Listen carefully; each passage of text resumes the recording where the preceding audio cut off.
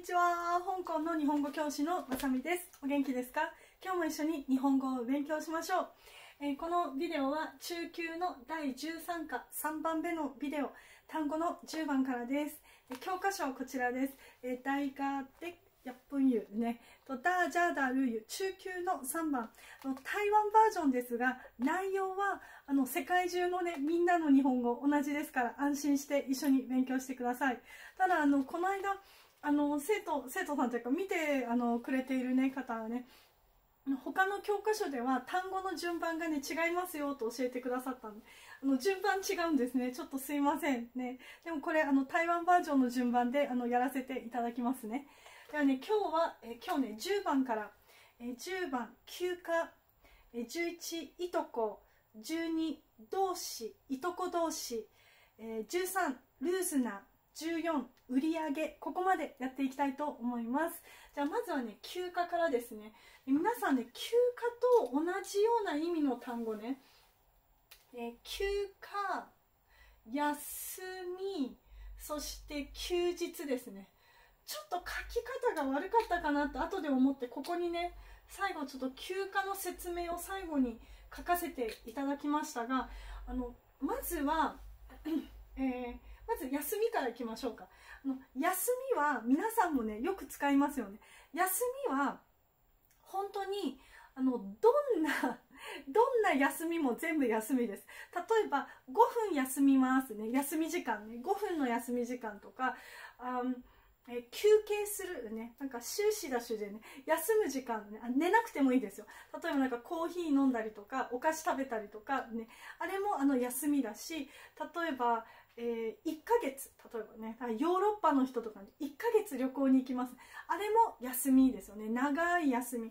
休みはどんなとても短いのからとても長いのまで。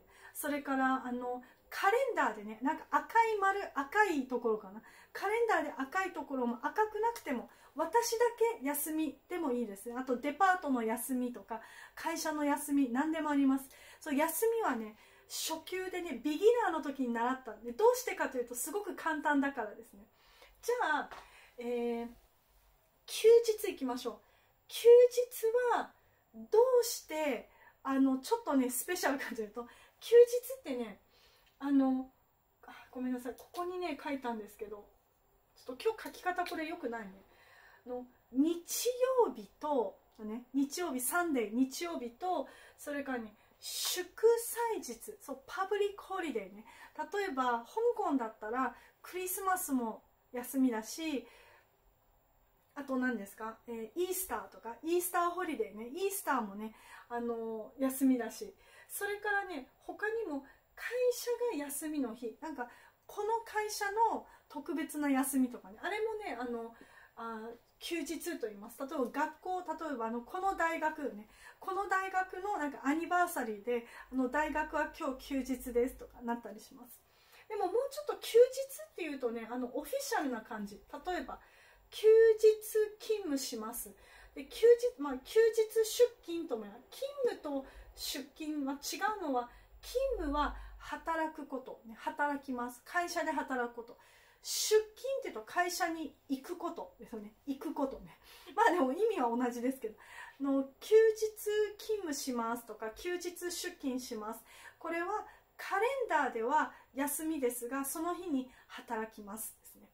でそれから今月は休日が9日ある。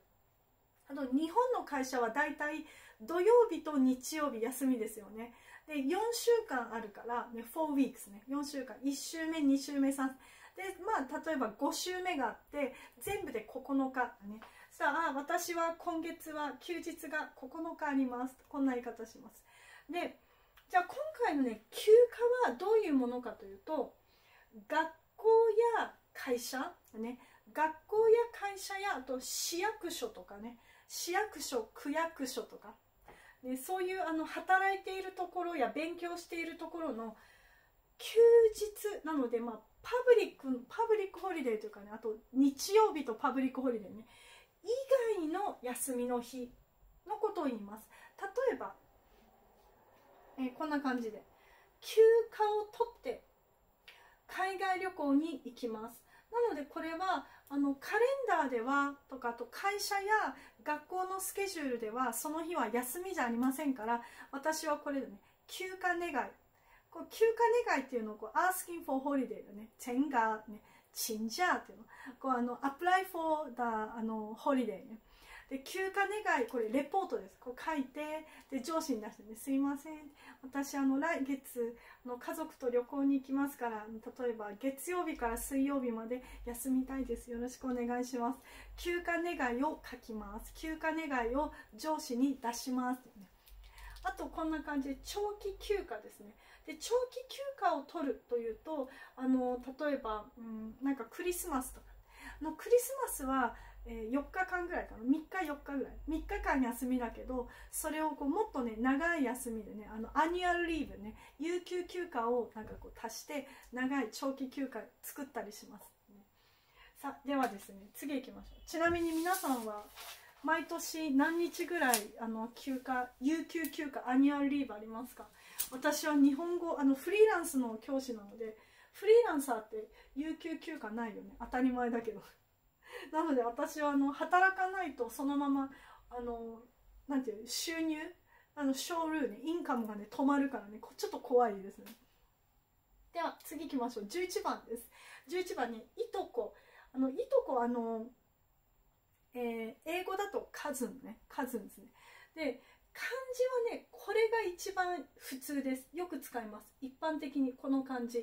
だけど兄弟ってあるじゃない？あの男の子だけじゃないですよねカズンってねだから例えばその関係によってこう漢字をねお兄さん妹とかお姉さん弟とかまあどちらが男の子が上か女の子が上かとかで漢字を変えたりもしますが、まあ、普通はあの日本ではあまり男女関係なくこの漢字を使う場合が多いです。でそれからえ説明すると、まあ、両親と両親のあお父さんお母さんね。両親の兄弟姉妹でこれよくねここ省略するよね。姉妹言わないで兄弟。で兄弟はあのこれ皆さん多分も知ってると思うけど兄弟というとおあのお姉さんと妹も含みます。入っています。これ兄弟姉妹が長いからそれのショートフォームね。短縮形で兄弟と言います。だから、例えば、Do you have any siblings? Do you have any brothers or sisters? 兄弟がいますか？と言います。それはお兄さん、弟だけじゃなくて、お姉さんや妹も入ってますね。なので、こんな感じで、両親の兄弟、つまり、両親の兄弟は、まあ、私たちのおじさん、おばさんだよね。おじおばの子供ですね。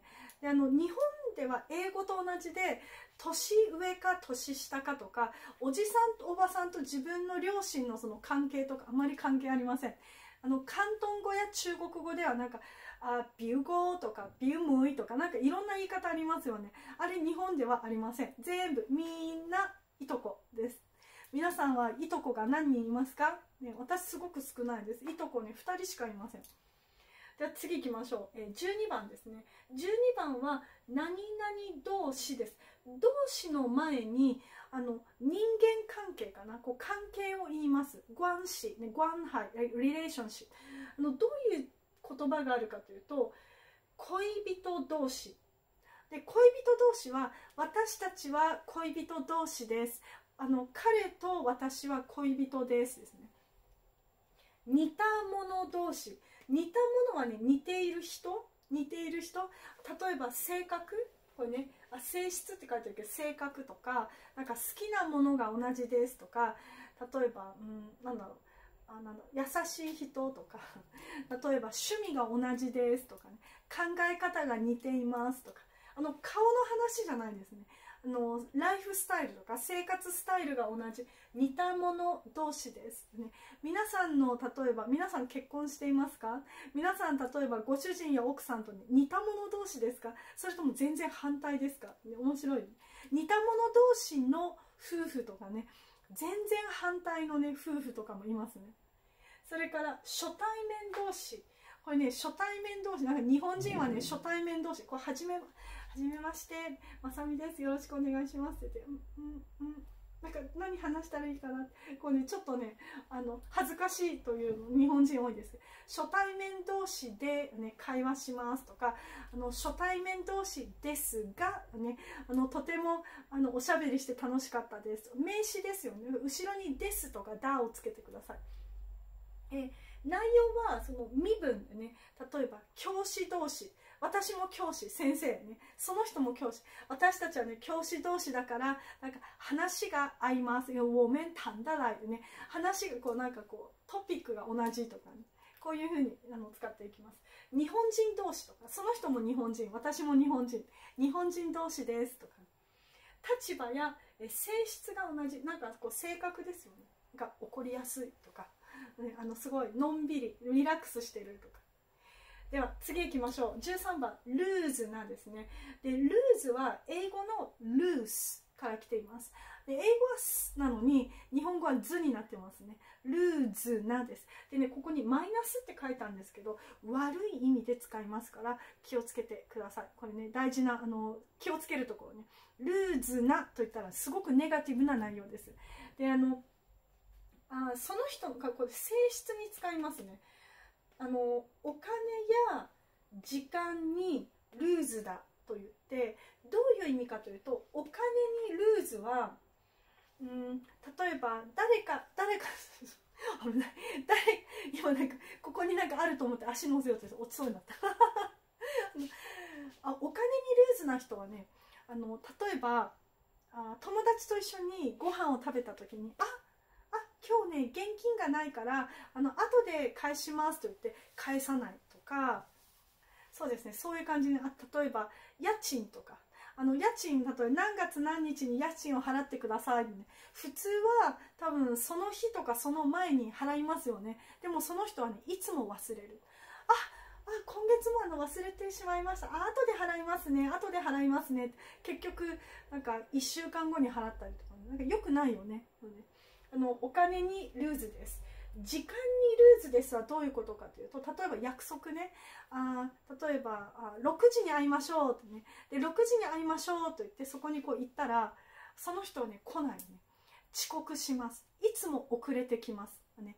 あとは、うん、あ仕事の時とかは例えば何月何日に例えば締め切りデッドラインね。締め切りですよ。だからその日までにレポートを出してくださいとか返事をくださいと言ってでもその約束を守りません、ね、締め切りにいつも間に合わない。1回じゃなくて何回も何回もね。これねお金にルーズ時間にルーズはどちらもね1回じゃルーズと言いません。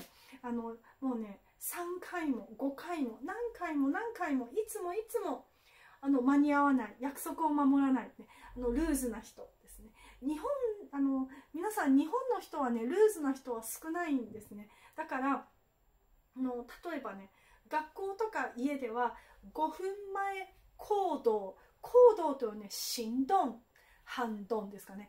あアクションの意味ね。